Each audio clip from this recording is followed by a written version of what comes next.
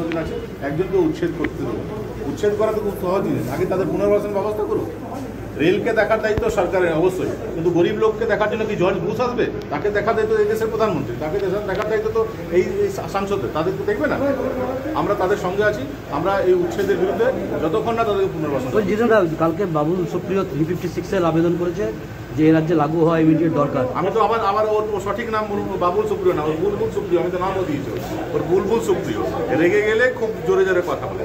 ওর কথায় হয় কোন গান রিলিজ হবে সেটা ওর কথায় চলতে পারে। তিনশো ছাপ্পান্ন হবে না। আর বলুন তো, তিনশো তিরিশে কী আছে সেটা আগে ওকে বলতে বলুন তো।